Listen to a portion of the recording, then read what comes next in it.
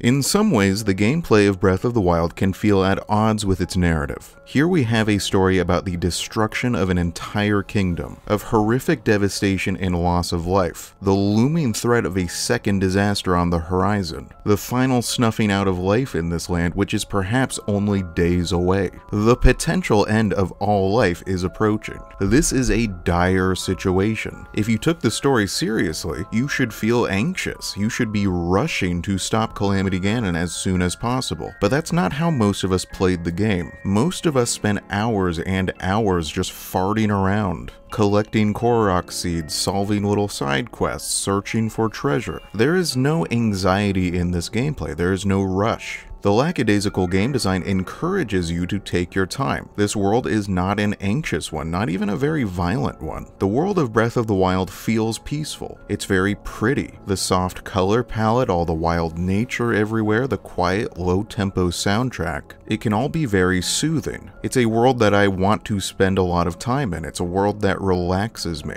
When I first played the game, I thought this tragic story and peaceful fun gameplay didn't match each other at all. But nowadays I think it's actually the opposite. Those two seemingly contradictory elements are really essential to each other. Because Breath of the Wild story is, at its core, a story about failure and tragedy, but also about overcoming that failure, about finding joy and beauty in the world even after a tragedy has occurred, finding reasons to live in a tragic world. I'm going to start this essay by discussing the game's world design, this peaceful playground the developers have created, and then discussing the horror that underlies that seemingly peaceful world, and then how the narrative's themes of failure and overcoming failure tie it all together. So, Breath of the Wild's gameplay, like a lot of Nintendo games, is all about joy and silliness and finding the fun in all these little details. These little interactions with the world that most other games wouldn't bother with. Despite its massive scale, its huge open world, its story that spans millennia, with the fate of the entire world at stake, Breath of the Wild often feels to me like a very small scale game. So much about its game mechanics and world design are about finding fun in little things. I was at my happiest in this game when I was simply exploring a little green shaded wood, picking some mushrooms off the ground, seeing squirrels and birds skittering among the underbrush, climbing a tree and finding a bird's nest, while that delightful little bit of piano music plays, and the wind is rustling and you hear the tittering of the birds. You can chop the trees down for wood, you can pick apples for food, you can even accidentally light the whole place on fire. Or when I climbed a tall hill or small mountain and you look out and it feels like this whole world is spread out beneath you, and the terrain is rolling and so very green, and maybe it's sunset and the landscape has turned pink, or maybe it's raining and atmospheric, but either way, every vista in this game felt like its own reward. Every landscape a painting, and every single thing you can see, every tree, every mountain, every valley, that's a place you can go right now. There's a wonderful sense of freedom to it. Or when I was exploring some ruins, some hundred year old crumbling fortress, littered with moss covered husks of ancient broken machines, left over from a forgotten battle, or maybe an abandoned village where every single villager is long gone, or even just a single lonely shack on a green hill, and letting my imagination loose, imagining what life might have been like in this place before all the death and destruction, when every fortress was manned by marching soldiers and every village was alive with the sounds of work and play, and even those lonely shacks were inhabited by some family, some old hermit living on the frontier. I've often heard people describe Breath of the Wild's open world as empty, or say that there wasn't enough to do or not enough to find. And while I do understand those criticisms, and I think there's some validity to them, I also believe there is something difficult to describe within this game's world design that if you don't get it, you just don't get it. I like riding my horse along the paths, I like climbing the hills, I like collecting mushrooms or hunting for deer, I like jumping off a tower and seeing how far I can glide. There is a simple joy in these acts that feel silly and pointless when you try to explain them to others, but in the moment feel very satisfying and fun. You have to experience it for yourself. You have to let yourself take it slow. Give yourself permission to waste time and not even bother trying to accomplish anything. Just enjoy meandering around this beautiful and usually peaceful playground the developers have gifted to us. Breath of the Wild reminds me a lot of Studio Ghibli's films. A lot of those movies have these grand, exciting adventure stories stories, but the films are never really about that, or at least didn't seem so to me. Those movies are all about these little quiet moments, these often mundane daily events, and because of that studio's extraordinary animation, those otherwise mundane moments become filled with so much color and joy and life. Watching those scenes can make you feel happy just to be alive, and that's the true secret of their magic. Breath of the Wild feels like a 300 hour long video game equivalent of that. The game's world is full of so much color and so much life and so much quiet joy. It's part of why I'm a bit flabbergasted when people say this game is empty or shallow. Every inch of this game's world feels absolutely full to me. And yet, as I discussed at the beginning of this video, all that peaceful gameplay can feel at odds with the game's narrative. Breath of the Wild story is one of deep tragedy. This is a setting where the heroes failed, where the champions of good were cut down one by one, where the bad guys were victorious, where innocent lives were destroyed, where thousands were slaughtered, where the kingdom fell to fire and ruin. Everywhere you go in this game, you see the lingering scars of a cataclysmic battle, abandoned villages, crumbling fortresses, battlefields where the earth itself has been shattered. Every time I pass a ruin in this setting, an abandoned home, an empty cobblestone street where wild grass grows between the stones and none but monsters now roam, I feel like I'm exploring a graveyard. Each ruin is like a gravestone, a monument marking where another life was lost forever. Breath of the Wild's whole world feels like one big graveyard. For all its life and light and color, it is also a melancholy setting where the twin shadows of death and ruin are ever present. As an audience, how do we reconcile these two seemingly disparate story elements? Life and death, joy and loss, color and shadow. I think the primary theme of Breath of the Wild's narrative is failure, tragedy, and disaster, but also finding a way to keep going in spite of those, finding a reason to keep living in a tragic world, overcoming failure, building a new life in this broken place, and not necessarily repairing all the damage that has been done, because that isn't really possible. You can't bring back all the lives that have been lost, but instead finding a way to live with the damage, with the old wounds, joyfully and peacefully. Let's look at a seemingly random background character in the game. In Hateno Village, the only Hyrulean village that escaped the devastation of the calamity mostly unscathed, you can find this old woman sitting by a tree. She speaks about the setting and history of this world, which is a relative rarity in the game. It's hard to find characters who actually say anything substantial about the setting's backstory, anything specific about how the calamity affected the lives of ordinary people who survived the devastation. She says, When I was a child, this whole region wasn't in a state fit to be sown, much less harvested. Hyrule Castle and Castle Town had been destroyed, and all the lovely folks there fell victim to. Well, back in the bygone days, we called it the calamity. But words often fall meaningless when we try to describe tragic events of a certain magnitude. I didn't come along until everything was already over. I was born during the age of burning fields. By the time I was old enough to be aware of it, the plants around Hateno village were budding. We were self-sufficient. This dialogue is so important to understanding the setting of Breath of the Wild and to its themes of both failure and overcoming failure that I kind of can't believe it was hidden behind some random NPC in the corner of Hateno village where it can easily be missed. I want to start with that line. Words often fall meaningless when we try to describe tragic events of a certain magnitude. There is a profound truth to this statement. Our language often fails to capture the emotions and the trauma of tragedies. It is difficult enough to describe in words how it feels when you lose a single person you love. But what about when you lose tens of thousands, when you lose entire cities and towns, when you lose your whole world in a day? What words are there for that? The word word calamity specifically is not sufficient to capture the scope and terror of the tragedy the term is used to describe.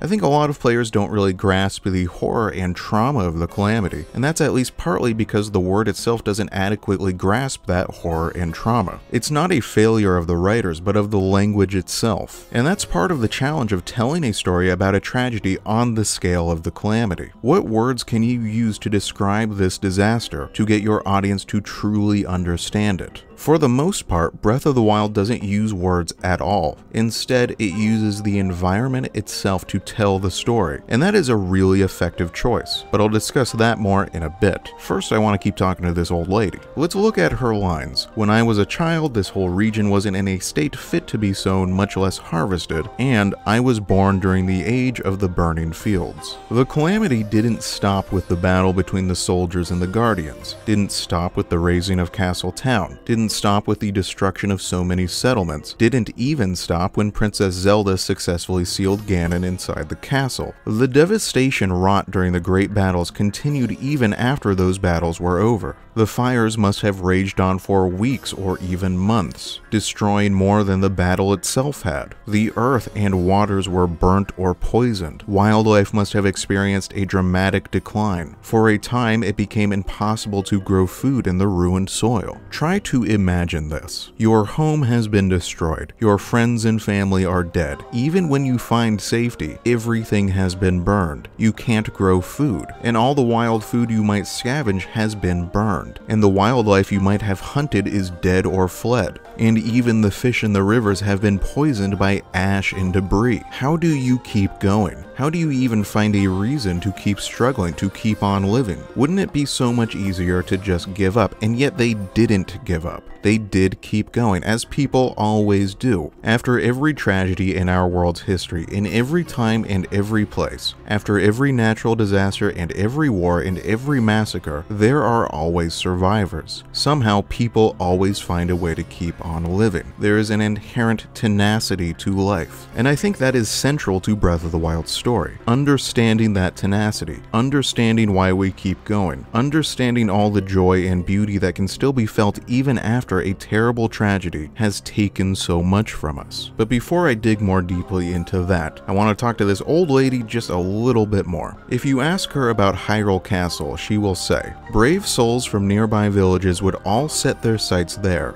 do great deeds, and return home draped in glory. I really like this line because it's one of the few lines of dialogue in the game that gives us any idea of what daily life in Hyrule Kingdom was like before the calamity, of their culture and what they valued. Hyrule Castle was not just at the geographic center of the kingdom, but the center of its culture too. If you had dreams, they were of Hyrule Castle. If you left home, you went to Hyrule Castle. If you wanted to become someone, make a name for yourself, find glory, you searched for it at Hyrule Castle. All eyes were pointed towards that single landmark all those ruined and abandoned villages across the landscape. In every single one of those villages, you could have found young people with goals and aspirations, greedy for glory, hungry for success, ready to take on the world, and their eyes were pointed towards Hyrule Castle. In those same villages, you'd find older folks who had once left and later returned, who could regale others with stories of their adventures, of their careers as knights of the kingdom, of some battle or crisis they took part in. Across the whole kingdom, on all the roads and highways, you could have found people journeying to Hyrule Castle for the first time, their hearts high with hope. I think it's important to try to understand what life in Hyrule Kingdom was like so we can understand what was lost, to see the humanity within this tragedy. The story focuses so much on Link, the great fabled hero, and on Princess Zelda and on the champions, but we get so little information about the ordinary people of Hyrule Kingdom. But now we need to move on. I spoke before about how Breath of the Wild tells most of its story through its environment, through the landscape itself. So if we really want to understand the story of the calamity, and those themes of failure and overcoming failure, of the inherent tenacity of human life, we have to find it by reading the environment the same way we might read a book or analyze a painting. I want to focus on three specific locations in the game, and the stories those locations tell. I want to look at Hateno Village, Akkala City, Citadel, and Castle Town. So since we're already there, let's start with Hateno Village. Hateno Village's story actually begins far outside the village itself, in a place called the Blatchery Plain. This plain was the site of the last battle of the Calamity, and you can tell just by reading the landscape how terrible and horrific this battle was. Examine the shape of the landscape here. Look at all these little hills and dips, the shallow puddles, the way the whole plain seems to have been pockmarked. Now, this is a photo of what the World War I battlefield of Verdun looks like today, you should immediately see the similarities. About a hundred years ago, one of the most terrible battles in human history was fought here, and even a hundred years later, the scars of that battle still run deep. The craters dug by tens of thousands of artillery blasts are still obvious to the naked eye. Hundreds of thousands of soldiers lost their lives here. And this is exactly what we see in the Blatchery Plain, a landscape that never healed from the battle that was fought here where the craters dug by the blasts from the Guardians' weapons still pockmark the landscape. The Earth itself was wounded, permanently altered. It wasn't just human lives that suffered in the calamity, it was the world too. It was the ecosystem. You can look at this landscape and see the battle that was fought here. The scars in the land will probably never fully heal. This isn't a story about healing and covering up old wounds. It's a story about learning to live with the wounds. And this battlefield is massive. Look how far it extends. Look how many husks of guardians rest here. Next, examine the human ruins that dot this plain. Here and there you see crooked walls, archways that lead to nowhere, a lone pillar supporting nothing. These buildings have been so thoroughly destroyed that you can't even guess at what they might have been. Was all of this a part of Fort Hateno? Could there have been a village here too, something else? There is no way to know. It's not just that all of the people who lived here are dead, it's that the calamity even erased the stories of their lives. Their stories were not not written down, and these structures were completely demolished so that we cannot read their stories even in the environment. Their lives have vanished. We will never know anything about them. Much of what was lost in the calamity is simply irrecoverable, just like any other disaster. At the far end of the plain, we find this stone fortification, and this wall is really extraordinary because it marks the calamity's greatest extent. That wave of destruction and bloodshed and terror and battle crashed into this fort and was held back long enough for Princess Zelda's magical power to shut down the Guardians. Look how many Guardians are piled up against this wall, how many were destroyed midway through the act of actually climbing the fortification, the scars in the wall itself, and yet not a single Guardian ever managed to scale this wall. Not a single one reached the other side. We know that Link fought in this battle, that he destroyed many of these Guardians himself, and that it was Princess Zelda who ultimately ended the battle with a massive blast of magical power power. But look at this wall and think about how many soldiers must have fought on this wall. How many soldiers it would have taken to hold back a horde of guardians for any length of time. How many heroes fought here whose names we'll never know and whose stories were never told? But even if they weren't written down, we can still see their stories. The developers stamped this story into the landscape instead. From here, we travel along the road to Hateno village itself. Notice how empty this road is, how few travelers there are, how the road is just a path worn into the dirt from frequent travel. This might as well be a rural road leading to nowhere. Today, Hateno Village is the center of Hyrulean civilization, the densest human settlement in the world. But before the calamity, it was just a village on the outskirts, one of many, in an isolated corner of the frontier, not even important enough to warrant a cobblestone road. And then we reach Hateno Village itself, and we find what all those heroes at the fort sacrificed their lives for. It's life, it's simple living. Hateno wasn't a center of culture or knowledge. It wasn't strategically important. There isn't anything special about Hateno that makes it worth sacrificing your life for, except that it's a place where people lived. Here, farmers still till the fields, children still run and play in the streets, mothers still gather to gossip by the well, the windmills still turn. In spite of all that death and ruin, life goes on. I started this essay by discussing all the simple and small joys there are to be found in Breath of the Wild's world design, despite the tragedy, and I think Hateno is central to that theme. In the end, the soldiers of Hyrule didn't save the castle, and they didn't save any libraries, and they didn't save any temples, and they didn't save any fortresses. They saved a single village, one village, where those simple and small joys can carry on. I really love Hateno Village. It's one of my favorite locations in the game. It's so peaceful here, so relaxing. Here you don't have to imagine what life might have been like before the calamity. You can see it with your own eyes. It was simple and quiet, normal. The villagers live ordinary lives here, follow uncomplicated routines. I think there's much to be envied about life in this place. At Hateno, through the environment, we see a story of heroes facing incredible devastation, horrific tragedy, and against all odds, just barely emerging victorious, of great sacrifice for simple rewards. Now we need to move on to a more tragic story, one of heroes failing, falling in battle, of the soldiers who died without saving anything. Now we move on to Akkala Citadel, Akkala is a rural frontier region full of nature and wetlands and quarries and trees with absolutely gorgeous red colored leaves. And over all this wildlife, the massive ruined spire of Akkala Citadel looms. Akkala Citadel is one of the most impressive sights in all of Hyrule. Colossal stone walls that stretch high into the sky, a multi-leveled, multi-terraced fortress complex carved into the face of a cliff, seemingly impregnable, the toughest nut to crack in all the kingdom. Once upon a time, it must have been home to hundreds of soldiers, a focal point of Hyrule's military forces. But now it is quiet. The only life to be found here today are monsters and the trees growing from the terraces, their red colored leaves swaying in the cold wind. First, imagine the story of its builders. A master architect must have designed this structure, one of the most impressive minds of their age, who designed a fortress that would stand for generations. And yet, yet whose name we will never know. It would have taken months just to gather the materials from the nearby quarry, and many more months, if not years, for the craftsmen and laborers to raise the tower into the sky. Slowly, piece by piece, stone by stone, brick by brick, it rose ever higher. Imagine the pride of that architect when the final brick was set in its place. The pride of all those craftsmen and laborers. To have been a part of building one of the most incredible landmarks in the land.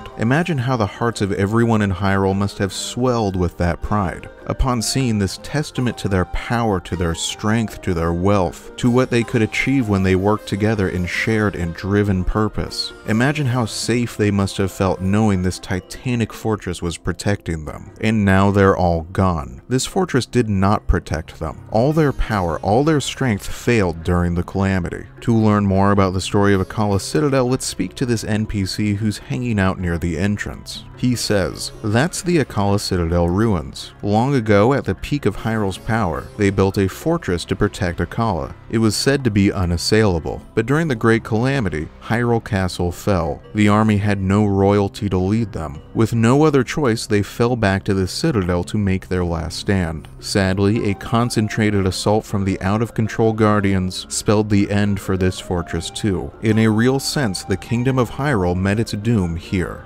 When the unthinkable occurred, when the center of their civilization, Hyrule Castle, fell, the survivors, battered and beaten, broken, fled to this citadel. Try to picture the stream of refugees that poured into this fortress that day, of terrified villagers and townspeople who had barely escaped with their lives, of soldiers who had no kingdom left to defend and didn't know where else to go. Many of them must have been wounded, many of them must have gotten separated from their families and loved ones, hope to be reunited with them behind these walls. All of them must have been scared, all of them must have been in shock, all of them must have wondered if even Hyrule Castle had fallen, what chance did Akkala Citadel have of withstanding the next assault? Then imagine their growing despair as more and more guardians appeared over the horizon, unstoppable, gathered at the fortress's base. The panic, the screams, the hopeless final stand. Some must have tried to hide, some must have thrown themselves from the walls in their attempts to escape.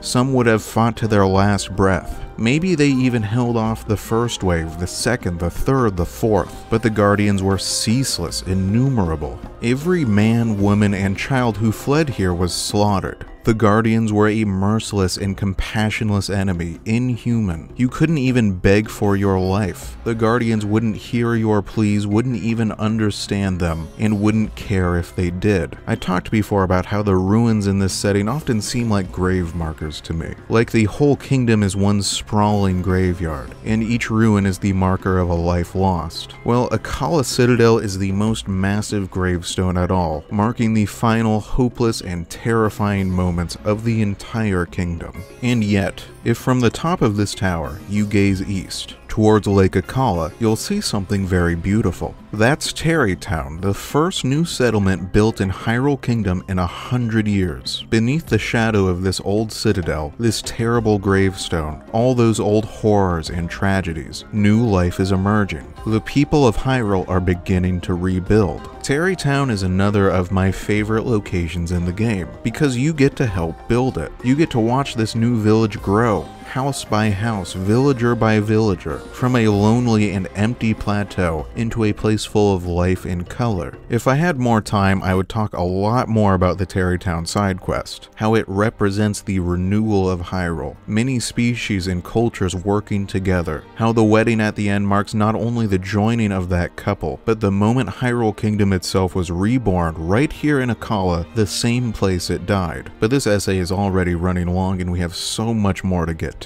Remember, Breath of the Wild's main themes aren't just failure and tragedy, but also overcoming that failure and tragedy, which is perfectly represented by Tarreytown blossoming beneath the shadow of Akkala Citadel. Next, we move to the center of Hyrule Kingdom, the epicenter of the Calamity, where all this death and destruction started to Castle Town. We've actually been following the story in reverse order. The calamity began at Castle Town, then spread to the surrounding settlements and fortresses, including Akkala Citadel, and then was finally just barely halted at Fort Hateno by Princess Zelda's magic. For most players, Castletown will be the last area in the game they explore, because it's the most dangerous ruin in all of Hyrule. The former capital of the greatest kingdom in the world is now a gray and featureless, lifeless wasteland, where pools of acidic malice burn anything they touch, and ancient guardians patrol these silent charnel streets, assaulting anyone foolish enough to explore this most ruined of all ruins. Castletown was the only true city of Hyrule Kingdom, the center of its culture, government, and civilization. This is where the royalty dwelt. This is where the bravest and most accomplished knights served. This is where the most learned and gifted scholars gathered. A hundred years ago, the streets must have been dense and crowded and noisy and alive with hundreds of people, with the sounds of talking and shouting and music and dogs barking and children playing, and shopkeepers hawking their wares, and the thousands of footsteps and the horses' hooves clattering on the cobblestones, and the creaky wheels of the carriages and carts. And now it is utterly silent. Unlike Akkala Citadel, where at least the red-leaved trees still grow, here in Castle Town there is no life at all, not even trees, not even monsters. The only thing that moves here are the mechanical corrupted guardians, artificial imitations of life, death machines who serve only evil. The most remarkable thing to me about the ruins of Castle Town is how utterly and totally this place has been destroyed. Most buildings have been literally leveled to the ground, down to their very foundations. This city looks like it was hit by an atomic bomb. This is where the calamity began, its epicenter, where it struck the hardest. And so the devastation here is visibly far worse than anywhere else. One moment, life here was as busy and colorful and noisy as ever, and then in the next, thousands of rogue guardians dropped on top of the city, clambering over the rooftops, swarming through the streets, destroying absolutely everything in sight. Castle Town was probably destroyed in minutes, if not mere seconds. It would have been horrific. Hundreds, if not thousands, of children must have been killed in these streets within the first seconds of the calamity, burned or vaporized along with their mothers and fathers, their grandparents, even their family pets. Imagine it. One moment you're living your life, you're thinking about whatever little ordinary worries that all people think about money, relationships, your family, your job, what you're going to eat for lunch that day, what you're going to do when you get home, your chores, your hobbies. And then in the next moment, absolutely everything you ever knew has been destroyed. Even if you are lucky enough to survive, your life is already gone forever. Your entire world is gone forever. Even if you survive the first few minutes, escape from the city, there is nowhere you can flee to, nowhere you will be safe. The Guardians followed the stream of refugees that fled to Akkala Citadel, slaughtered every single one of them. The Guardians scattered in every direction. Carrying destruction to every village, every fortress, every lone cottage. Even if you survived, how could you find a way to keep going after this happened to you? That is the central question of Breath of the Wild's story, but it's not a question unique to this game. This destruction of cities is obviously not unique to the fictional setting of Breath of the Wild. Cities all across the world in every country have experienced this exact type of total devastation. Cities are being destroyed in this exact way right now, this very minute, in parts of our world. Right now, lives are being destroyed, worlds are being destroyed. Tens of thousands, if not hundreds of thousands of people are asking that same question. How do we keep going in a world where tragedies like this keep happening? We will never see the last war or natural disaster. We will never see the last ruined city, the last stream of hopeless refugees. It's a personal question that everyone must answer for themselves, but we've already seen Breath of the Wild's answer. We've seen it written in the setting's landscapes. I spent the first part of this video showing you that answer, in all the joy and fun and peace still left to be found in this ruined world. Breath of the Wild is a world where, even after the worst of tragedies, the most horrific loss of life imaginable, you can still feel joy, still appreciate beauty, still have fun. Breath of the Wild is a world where life is tenacious, where people do not give up, where eventually, against all odds, they survive, rebuild, and even thrive beneath the shadows of the old tragedies. Before I end this video, I want to discuss Princess Zelda's story. So far, we've only looked at how Breath of the Wild tells this story through its environment. This whole time, we've had to imagine what the Hyruleans did and what emotions they felt, infer all that from the details of the environment. But with Princess Zelda, we don't have to imagine anything. Princess Zelda puts a human face on all that shock and trauma and destruction, on the effects of tragedy and failure, on those themes of failure and overcoming failure. She personalizes it. She allows us to see the calamity through a single character's eyes. Now, I don't want to watch every single one of her cutscenes, because then we'd be here all day. Instead, I've curated a sequence of four cutscenes featuring Zelda, which I think do a really good job of telling her story, telling this story of failure and then overcoming that failure. So let's watch the first one.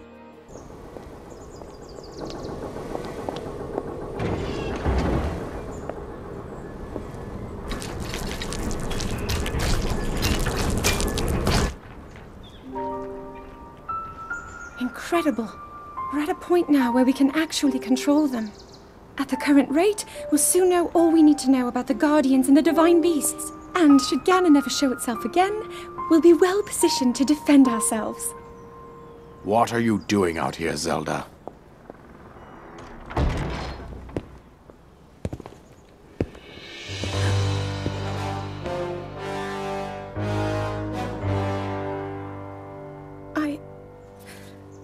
Was assessing the results of the experiment with the Guardians. These pieces of ancient technology could be quite useful against I know that. They are essential to Hyrule's future, and our research demands that we keep a close eye on them. However, as the princess, you currently have a crucial unfulfilled responsibility to your kingdom. Let me ask you once more. When will you stop treating this as some sort of childish game? I'm doing everything I can.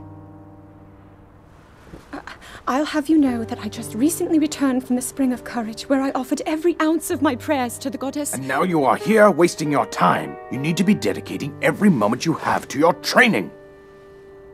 You must be single minded in unlocking the power that will seal Calamity Ganon away. I already am. Don't you see? There's nothing more I can do.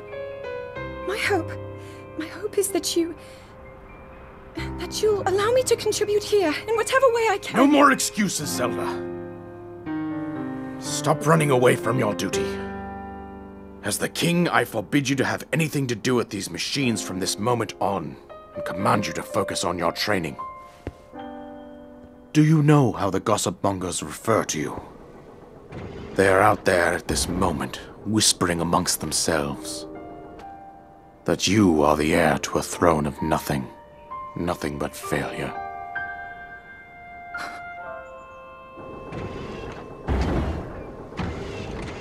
It is woven into your destiny that you prove them wrong. Do you understand? Yes. I understand. Breath of the Wild's story is very unique among the franchise in that it presents Princess Zelda as fundamentally a failure. In most other games, she is depicted as powerful, wise, in charge of whatever situation she's in. Sure, she also usually gets kidnapped, but she always has total control over her magical power. She never struggles to use her magic. That always seems second nature to her. But not in Breath of the Wild. This is a more sympathetic depiction of her character than we're used to. A character who is failing to live up to others' expectations of her, who is failing to fulfill her supposed destiny. Princess Zelda has been told that the only means of saving the kingdom lies within herself, a hidden power sleeping within her, but she doesn't have any idea how to awaken that power. She doesn't have anyone to guide her or instruct her in this. She is alone and time is running out. If she fails to awaken that power, then everything will fail. Everything will be destroyed. It doesn't help that she's been forcefully paired with Link, a warrior who has seemingly very easily fallen into his own destiny as the chosen hero. Every time she views his success, it's a reminder of her own failure. She tries to distract herself with research into the ancient guardians, studying and restoring the old Sheikah technology, which is a space where she can succeed, a place where she isn't haunted by her failure, where she can feel confident in herself. But then, even that safe haven is stolen from her when her father forbids her from further research into the guardians, throws her failures in her face, orders her to focus totally on her training from now on. But this is a brutal order. Imagine being ordered to spend your every waking moment working on something that you simply cannot achieve. No matter how much time you spend on it, no matter how hard you try, it would make you miserable, which is exactly what Zelda becomes miserable. Now let's watch the next scene to see how this story of failure progresses.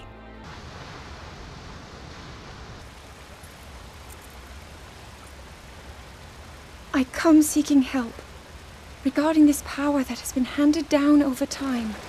Prayer will awaken my power to seal Ganon away. Or so I've been told all my life. And yet, Grandmother heard them. The voices from the spirit realm. And Mother said her own power would develop within me. But I don't hear or feel anything. Father has told me time and time again. He always says, quit wasting your time playing at being a scholar. Curse you. I've spent every day of my life dedicated to praying. Pleaded to the spirits tied to the ancient gods. And still the holy powers have proven deaf to my devotion. Please, just tell me. What is it? What's wrong with me? In this scene, we see the deep personal anguish that repeated failure can cause. How long can you fail at something before you must give up?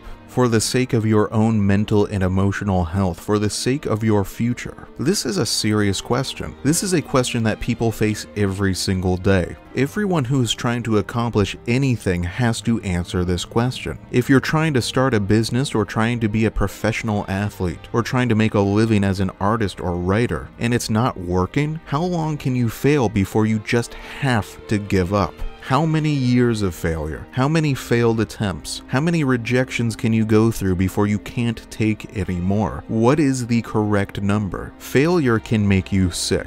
Deep down inside, it can hurt you. Just as Zelda does here, you will begin to wonder what is wrong with you. What about you is broken? Why can you not do what other people have done? How can you fix it? Can it ever be fixed? In this scene, Zelda is approaching that limit. This is a character who is asking herself, how many more times can I fail? How many more times can I put myself through this? What's even the point of trying anymore? Next, let's watch the result of all this failure.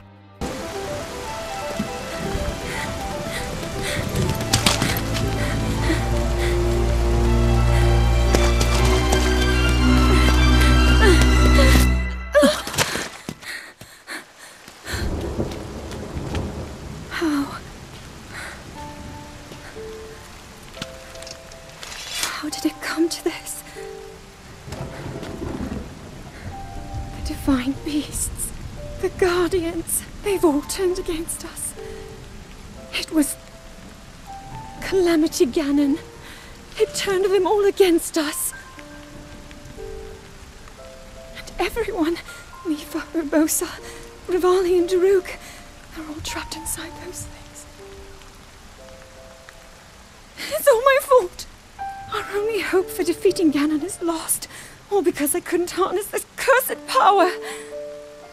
Everything, everything I've done up until now, it was all for nothing. So I really am just a failure. All my friends, the entire kingdom, my father most of all. I tried and I failed them all.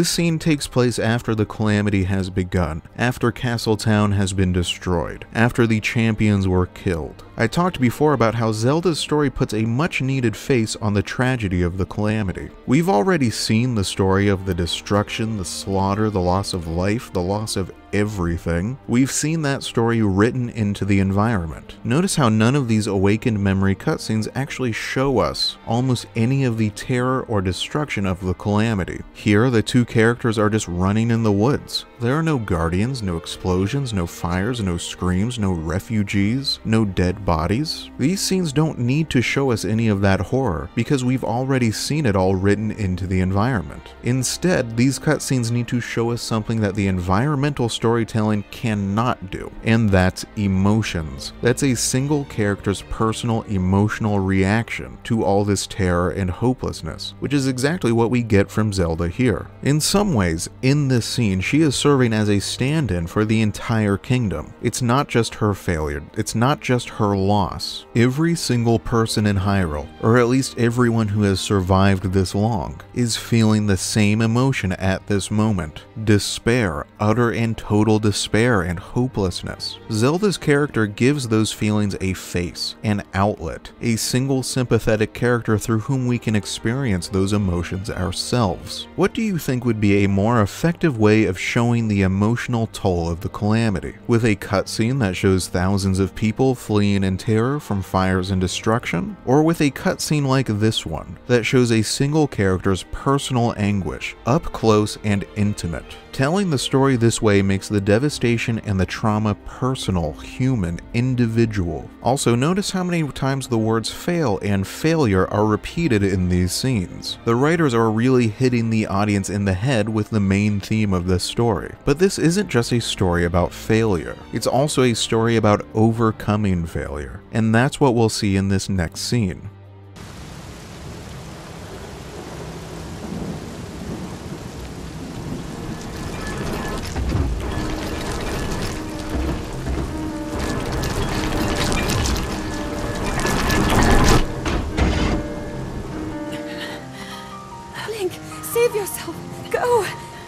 Fine.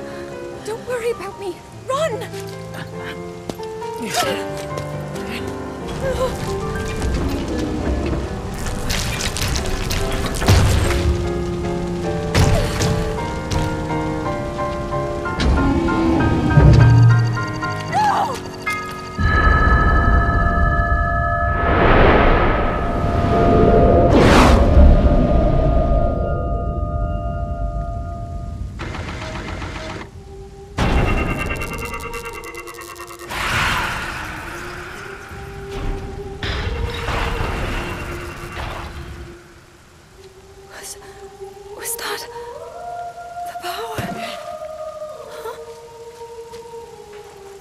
Here is where Zelda's power finally awakens, and it's worth noting that her blast of magical power here saves both Hateno Village and whatever soldiers were left defending that wall we saw earlier. The difference between this and every other time she's ever tried to awaken that power is that this time she's not doing it for herself, not doing it to fulfill her father's expectations, not doing it to fulfill some ancient duty. This time she's fighting to save someone she cares about. This time she's doing it for someone else. This time it's selfless. Her power only works when she's fighting for others, and I think this is central to the story's themes. A key question of Breath of the Wild's story is, how do we keep going after a tragedy? What reason can we find to keep living after we've lost everything? This scene contains a new answer to that question, and that answer has to do with companionship friendship, community, love. When tragedy strikes, we are reminded how much we rely on community. You can't rebuild a city all on your own. Lone survivors aren't really survivors. Zelda's power only works when she's fighting to save others because, thematically, we only overcome failure and tragedy when we overcome them together. Breath of the Wild story is a very optimistic one. In this story, when the critical moment arrives, when all hope seems lost, people do fight to save each other, and because they're fighting for others instead of for themselves, they will win.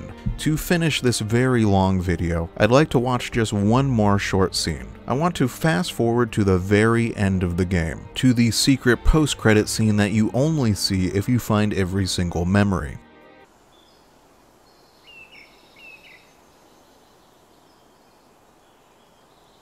We'll make our way to Zora's domain. Divine Beast Vah-Ruta. Looks like it's stopped working. Let's investigate the situation. Mipha's father. I believe he would like to hear more about her. The least we can do is visit him and offer him some closure. Although Ganon is gone for now, there is still so much more for us to do, and so many painful memories that we must bear. I believe in my heart that if all of us work together, we can restore Hyrule to its former glory. Perhaps even beyond, but it all must start with us. Let's be off.